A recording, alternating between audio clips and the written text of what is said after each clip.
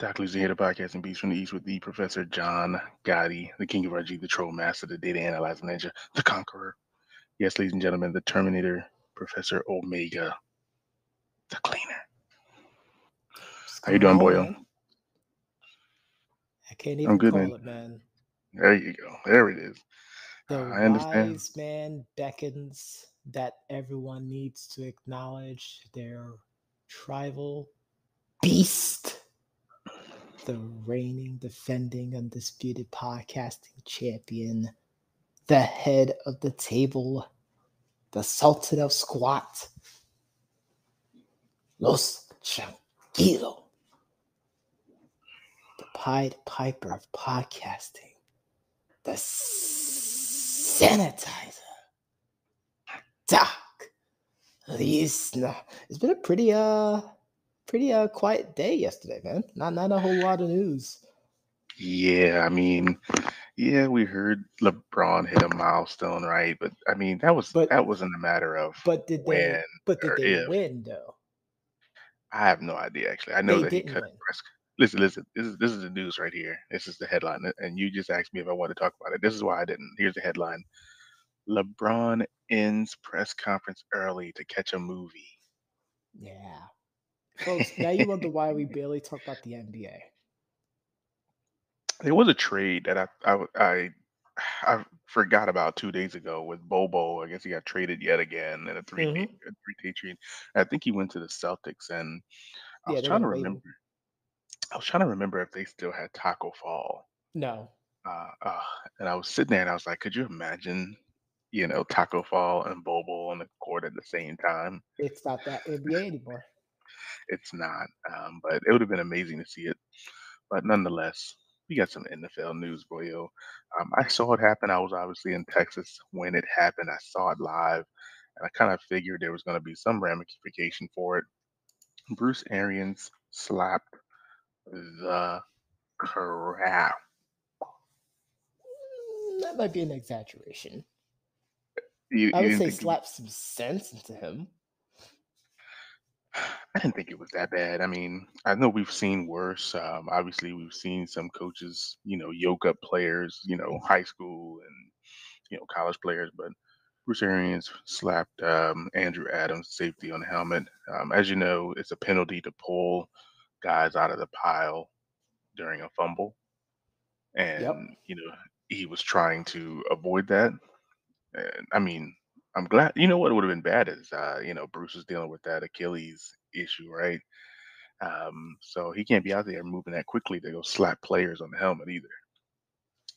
Um, but he was fined fifty thousand dollars for this striking of the helmet. Of course, This was, a, this was a PC fine. I think we could both agree to that. This was a PC Ye- fine. Yeah, I think it was. Um, especially on the wake of the Urban Meyer's thing, because unfortunately, people started to immediately make the comparison with Urban Meyer. They were saying that Bruce Arians did get fired for some stupid reason. wow. Uh, but it, I understood it though, and you know, it wasn't. I think this is one of those things where you you see it. I'm sure it happens a lot. You know, uh, coaches hit players over the head with the the whistle and um, or the you know the play chart. You know, stuff that's in it. You know, those innate objects that are small or light. But I don't think we usually see guys you know get hit over the helmet like that. Um, but I understood it completely. I mean, I, I took it as a teachable moment. Yeah. Hey, hey, you know, because he's Like- right. He was right. He was right though. Yeah, Uh, but he said he's going to appeal the fine, of course. Um, yeah. I mean, if anything else, he might, you know, take the fifty thousand dollars and donate it to a charity instead of giving it to the league, kind of thing. I think people will probably pay. Uh, uh, A- A- An- Andrew Adams might actually pay it for him. hey, hey, it happened last year after the uh, Super Bowl. True. Not not with Andrew Adams, of course, but you know what we're talking about that led to the, you know, now the uh Antoine Winfield Jr. rule. Mm-hmm. Mm-hmm. That's also You know- stupid judge uh, ju- uh judgment, by the way. Of course. Um, but they, you know, they talked about that, and you know, he just said he couldn't resist. He had to get him back. You know, um, and I think they talked to the coaches about that also, saying that, you know, it was stupid, but you know, luckily it didn't like cost them possession of the ball or anything. Exactly. Uh, see, this would have probably you know pushed them back, and they were in good field position. So I understood slapping of the helmet. So we'll see. We'll keep an eye on that. Uh, Bruce Arians striking Andrew Adams. Yeah, it wasn't that big of a deal, honestly. It, it wasn't, uh, but you know how it is. Uh, but speaking of those Bucs, um, he also addressed Tristan Wirfs um, as well as uh, some of the other players, uh, saying that a lot of people didn't practice, you know, on Wednesday. Um, hopefully, those those players get a chance to practice today, Yeah. Uh, which I think he said he's going to make the final determinations tomorrow on if those players will play. And of course, that's you know Tristan Wirfs, Josh Wells, Ronald Jones, you know Leonard Fournette, some of those guys uh, that we're all kind of waiting to see if they play or not. This is going to be exciting. I think it's going to be exciting either way. Um, here's how I look at it: the fact that they haven't been ruled out yet, you know, True. leaves a lot to be hopeful for if you're a Bucs fan or if you're Doc Elliott. Oh, So just because they haven't practiced, you know, yesterday, hmm you know, doesn't mean that they're not going to play. They could still be a game time decision. of course. And then it just you know, hopefully the Rams will be coming in and thinking that they're just going to, you know, dominate us because we're missing some pieces, and we just kind of backdoor, you know, roll up them. You know what I'm saying? Just a backdoor roll up with our feet on the ropes, of course. But sure, let's go with that, Doc. okay, you're gonna you're gonna die on that hill by yourself on that one. that's all right. I've been on that hill. I live on that hill actually.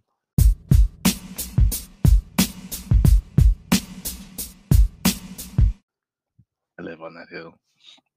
Um, but Johnny, we also had some off-season QB news already. Obviously, some teams are already in the offseason because they're not in the playoffs, or they had an early exit, um, including Steelers. Mike, coach, uh, head coach Mike Tomlin saying, you know, he's actually excited for the opportunity to have a QB battle uh, for the first time in pretty much years. Um, and right now, the battle lies between Mason Rudolph and Dwayne Haskins. Um, personally, I don't like it.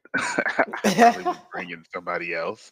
Um, I've we've seen both of those guys start before, and let's just say it wasn't pretty. it, it's funny that you said that because think about what happened this past off season about Okay. QB battles and about expectation subversion hmm because we knew who was going to start in that team, True. hmm but it was to help the stock price for the other QB that they ended up dealing.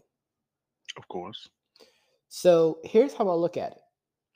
The Steelers have the opportunity. Mike Tomlin has the opportunity to finally get a quarterback that he wants, Of course. and not one that was inherited to him, or one that was acquired via trade because the kid messed up bad. hmm hmm Which both of these guys have a bad rap now, by the way. Absolutely. I mean, let's not forget about Helmet Gate. Exactly. So I think this is a the ample opportunity for him to get a quarterback in the draft Mm, to develop. true. a quarterback that, that he wants to give the reins, no pun intended, over to under center. And the thing I like about these two guys is that neither one of them have the upper leg or the upper hand. Nope. Um, they've both thrown terrible picks over the years, equally. Um, but they, luckily, they both they both underwhelmed, especially Dwayne Haskins. He definitely underwhelmed based on where he was drafted, based off the hype he had leaving college. That's true. And we just talked about that uh, uh, when we were talking about Joe Burrow and how technically Dwayne Haskins was over Joe Burrow at Ohio State, which is why Joe left to go to LSU. Um, but when you Turned out look to at be a him, pretty good move for him. dang good move. And don't get me wrong, I mean, he did play for the Washington at the time Redskins, and they are still trying to figure things out. Um, don't get me granted, Taylor Heinicke is making the best of his opportunity. Okay, I was about to say because we have Taylor Heinicke out there doing some things with. Doing some things, not not super great things, but good enough to get. It was it was better than it was Bucks. before. I mean, you know, we always talk about, you know, sometimes it takes a pretty good quarterback to help turn the franchise around, but you also have to have the will to be able to do so. I mean, I mean, we're going to get to that question if you know he's the guy or not. But um, I'm I'm looking forward to this also. I mean, obviously, this is going to mean that for all the fantasy lovers out there, you go out and you you definitely draft Najee Harris um, because they're going to hand that dang ball off probably four to five hundred times this year without question. or dump it Um, off to him too. I and and that's uh, you know the, and the issue is like they need offensive help outside of that because basically we're gonna have a you know CMC situation. True. Um, because you also have to make a decision on if you want to, you know, keep Juju Smith Schuster also. I don't think so. Um, I think you should let you him go. Yeah, because I mean, even though he came back on a discount, which was perfect for them, not so good for him because now he's lowered his market because he got hurt, and then his stats just don't show anything worth big money. And then you have, you know, the likes of Chris Godwin out there and a couple of people who And I was you just know, about to make that mention too. yeah, who are going to demand some um, some high money. So, I I mean, if I'm Juju, I'm just like, mm, I might take uh, yet another discount. Um, At this point, it's no longer a discount, Doc. it's not. He's just getting double checked. Did I just say? Did I say that? That's what you did there. That was pretty clever. That's my bad. My bad, State Farm. That's my. That's my bad. That's my bad. This is not an ad, folks. Definitely not. Bless you. Um, but I mean, just looking at some of the other wide receivers, just to name two, I already mentioned Chris Godwin, but you also have Allen Robinson and Davante Adams, uh, Yep. just to name some other receivers that are going to be free agents that he's going to have to deal with. So um, it, it's going to be tough for him. I'm interested to see what happens. Um, but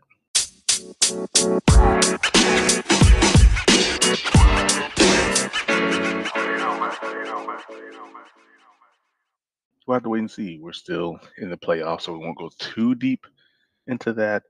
Um, but we did want to talk briefly just about some of the quarterbacks who are slated to stay, who could be on the move, and I guess who would be. I mean, we would be shocked if these people move. Of course. Uh, we'll go over just a few of them here. Um, obviously, the situation in Miami, you know, I think the whole reason that Flores was fired was because he just didn't believe in Tua. Um, and that's just one of the reasons, but I think that is the big reason.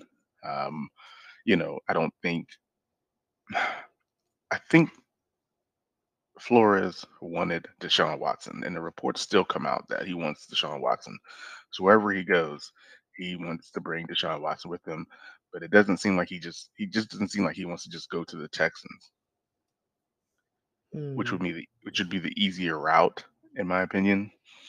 Um, but The issue is, I don't think we actually heard from Brian Flores about what's going on. So I'm taking those reports with a huge pinch of salt Yeah, fine guy, and I- because it could just be a, a matter of them trying to justify firing him because we keep saying that. Why would you fire him? Like he's doing amazing.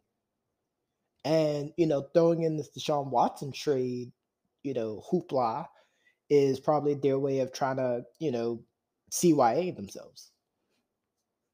Well, I don't think it was him. I think it was um one of the analysts. Um, I think we talked about it last week. You know, saying that Brian Flores said he didn't want to. Uh, he didn't want to. Uh, you know, he really wanted Mac Jones, so on and so forth. And we talked about him trying to maybe motivate Tua instead of, you know, those kind of things. But I think the whole idea was to tank for Tua. That was the whole campaign uh, that the media Whole was campaign. portraying.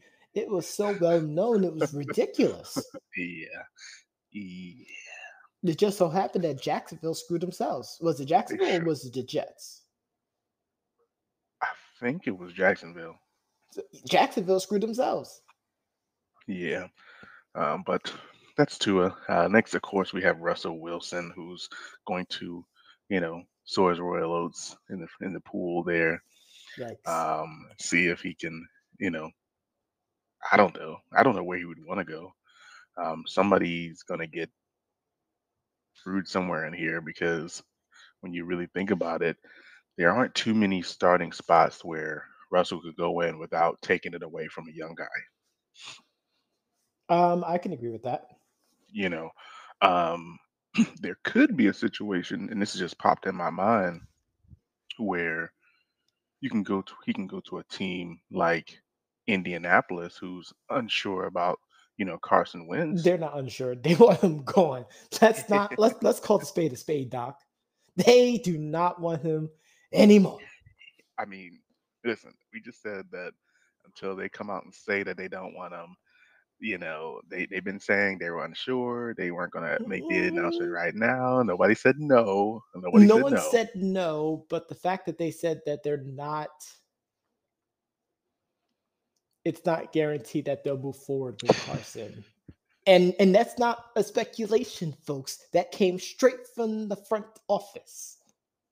Right. Um, and, and of course, you know, on this list, it also mentions Jalen Hurts, which obviously Pete Carroll could swap in for what he could believe to be the future Russell Wilson. Yeah, he has a lot of potential. I mean, we we know that as we was watching him play in college, especially. Um, I don't know. I don't know what's going to happen with Pete Carroll. I don't know if he's definitely going to stay, and if he stays, you know, like you was mentioning, they might want to get hurt. He might want to get hurt because he could hmm see, you know, Wilson 2.0 right there. But I don't know. I mean, I would feel bad if he, you know, end up having to leave. hmm You know, especially since they did all they could to get him, and you know, getting rid of the aforementioned Carson Wentz. hmm But No, I mean, I think I don't think the issue was really with him. I don't think so either. Um, that that team has a lot of holes. So do the Seahawks. I mean, I don't think swapping quarterbacks is going to fill their holes. I didn't think Uh, them uh, firing their defensive coordinator was gonna help. I think they're I think they're going in a completely different direction defensively. Um, I don't know what that direction is, of course, but obviously they lost a lot of players. I didn't think they should have signed Jamal Adams back to an extension, but um, I you're guess you're that's you're going to be. still staying on that hill too, Doc. I told you I live on that hill. I live on that hill, but uh, that defense is going to have to come together. And the other thing here, and this is a good one here, Daniel Jones. Yeah, but before you go into it, so this is a hmm shout out to Doc's cousin. You know, Doc, like I met your cousin. You know, we shook hands once or twice, hmm but hmm he gave Daniel Jones way too much heat this year, especially at the start of it. Yeah, I think they were saying, you know, I think a lot of his things was that he just turned the ball over a lot. He was a turnover machine. He fumbled so much. He did this. He did that. But he didn't even do that until like mid-season. I I agree. Um, you know, uh, number one, the good thing about Daniel Jones is that you know he's still a low cap, eight point four million dollars. Obviously, still on his rookie deal. of course. Um, of course, this little snippet here says he'd love to see him play under a different leadership. Um, it, it, and I told, I That, that, goes without cousin, saying because of how the yeah, Giants franchise is, but they also just got finished getting rid of both their coach and their GM. right. Um, which I mean sp- spells doom for him because you know unless a coach that really believes in him comes in, um, it- it's not going to be good for Daniel Jones, which which he showed a lot of promise. I mean, remember the long run? Obviously, before he tripped and fell, hmm um, he had the long run, so he has some wheels. He honestly looks like he could literally be not the full package of Josh Allen, but But pretty close. Pretty he, close, he he has some he has some Josh Allen in him just a little bit. as bit. far Not as skills arm. wise. I I mean, yeah, not the arm, making, of course. his decision making is still questionable. But I don't also don't like the Giants' play calling, and Saquon Barkley also not being healthy. And you know, I looked at their their Well, salary Saquon cap. Barkley not being healthy, him losing pretty much most of his uh, receivers. Yeah, Kenny Golladay going down. I actually took a screenshot and sent it to my cousin the other day, um, just to give you a quick, you know, rundown of their high-priced items uh, on their cap here, just to give you a few names, and you let me know. Um, we got James Bradberry making twenty-one million dollars. Leonard Williams making twenty-seven million dollars. Blake Martinez making $14 million, Adoree Jackson $15 million, Sterling Shepard making $12 million, Kenny Golladay got $21 million, and Logan Ryan is getting $12 million. Not high value names anymore. Nope. Although Bradberry is still really, really good. He's still good. Uh, I would say maybe the only person I could I could I see was- Bradberry heading to Tampa. not for that price. No, no, no, no, no, no, no, no. Nah, He, he's willing price. to take a pay cut though. Yeah, because I mean, I already know like if things don't go right, you know, we can't sign Carlton Davis back. You know, Nope. we, we would have to let some of those guys go. Um, but not to get too far away from here, do got maybe one or two other guys to go over. Um, I mean, somebody who, you know, got a lot of guaranteed money, Kirk Cousins, 33. Yeah, He could- unfortunately, he may be out of there. He could, but he could easily go to a team and make them a contender. He can go to Of course. Indianapolis. You know, he could go to, you know, the Giants or, you know, he can go somewhere and, and be really, really good and, and get them potentially over the smaller humps, hmm right? He can go to Carolina and do better than Sam Darnold. right? Um, he can go to some of these teams. So I'm interested to see what they do uh, with Kirk Cousins. Um, and I think lastly here, I'd want to talk about from this particular section is Baker Mayfield. Um, obviously, a lot has gone on. I think people just didn't like Baker Mayfield heading into the league, hmm and that has corroded into the situation we have right now.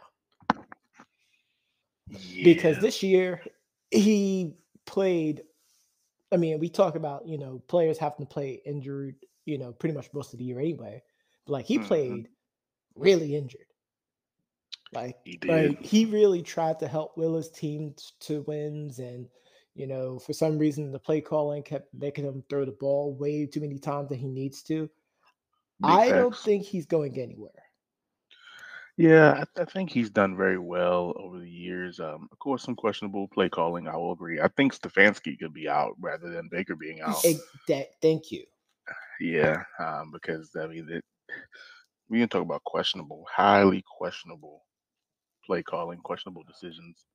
Um, but you a team again, yeah, again though, a run game could support a Kirk Cousins, a Russell Wilson, a Carson Wentz. Uh, you know, these these guys that can come in and lead this team. Um, only thing about it is, I don't, I just don't think they used the weapons that they had. Like coming they in, like don't. the Browns. Remember when the when they were comparing the Browns to the Chiefs? Yes. Oh my God! Oh my God! I can't wait to play with the Browns and Madden. They got OBJ. They got James Landry. They got Ooh. Chubb. They they they got Baker. Oh my God! Them boys got Myles Garrett. Oh goodness! They going to the Super Bowl.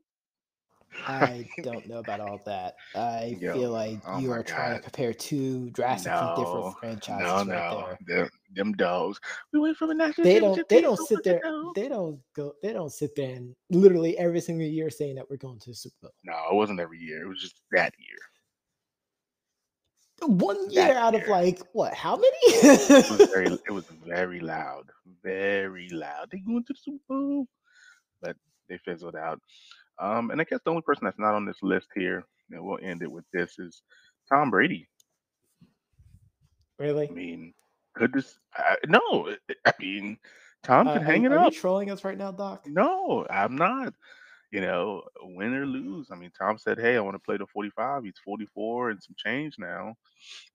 You know, I think he might hang it up. And if Tom hangs it up, I mean, the quarterback market is wide open. I mean, all I all I want to see happen, and we'll end it on this, Mhm. is when Tom Brady decides to hang it up, his successor being Aaron Rodgers. That's That all I want to see. so amazing. Oh god, Because- that'd be so Because amazing. I am literally going to call the Tampa Bay Buccaneers the Death Star at that point. Yeah, that would be amazing. Oh God, I would just like And. Aaron Rodgers brings Davante Davis. Oh, Davante Adams. Adams, sorry. Davante No, Adams. you're fine. That would be nuts. That'd be too much. But you know what, Johnny? Davante Adams. Mike Evans. Chris Godwin, freaking Gronk. Well, Gronk might retire also. I think Yeah, Gronk he might retire. Tom are gonna. I think Gronk and Tom are gonna go out at the same time. yeah. But Johnny, like, it was fun. We got ourselves a ring. two rings, hopefully. Deuces. Yeah, two rings, hopefully. But Johnny, I know that people heard this podcast on their favorite podcast platform, but if they didn't, they can always go to our website at www.debateamongstfriends.com to review this episode as well as all the previous.